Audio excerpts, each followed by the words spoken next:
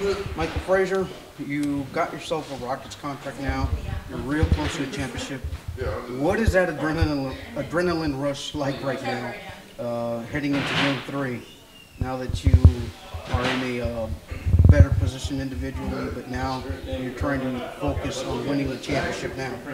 I mean, my focus is the same. Nothing's changed. Um, you know, it's a great opportunity with the Rockets, but I'm focused on winning the championship here because I think, you know, Coach Blair definitely deserves it. My teammates deserve it.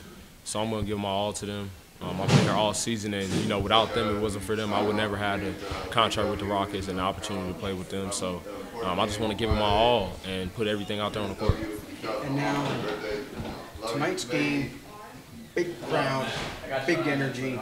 How did you feed off of it, and and what in and what gave you the confidence to just keep shooting and making shot after shot? Yeah, my teammates just st- stayed confident in me, told me to stay ready, um, and that my shots would come, and I was able to knock them down when it mattered.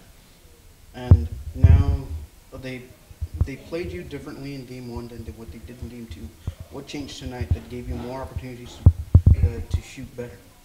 Um, I think we made adjustments. Uh, my teammates set better screens, um, got me open, got me the ball in my spots when I was open, and I was able to, you know, take advantage of it. And you guys limited uh, limited their team tonight uh, to a better defense, uh, to like less opportunities at free throws, less second uh, chance opportunities. What changed? Uh, just try to focus on defending without fouling. That was a big emphasis coming out of the game. Um, we were able to do that tonight, so it limited their free throw attempts. All right, thank you. Yep, thanks.